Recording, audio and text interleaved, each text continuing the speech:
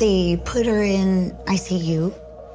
She had a tube in her neck that was taking her blood into a machine, cleaning it, and then putting it back into her neck.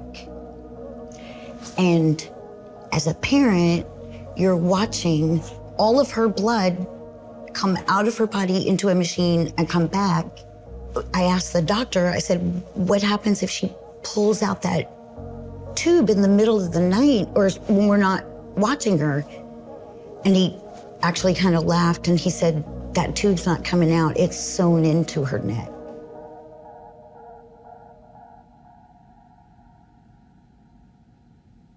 I, I actually don't think people realize how bad it actually was. I had three strokes. I had a heart attack.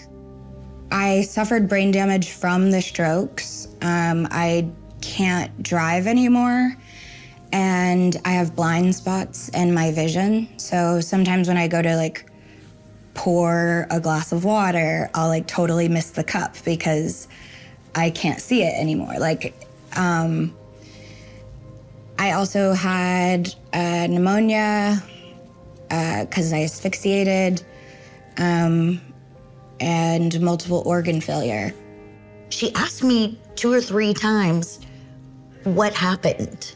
And I said, Demi, you're, you're in the hospital and you, you overdosed. And she, she just sat there and said, like she was really upset with herself.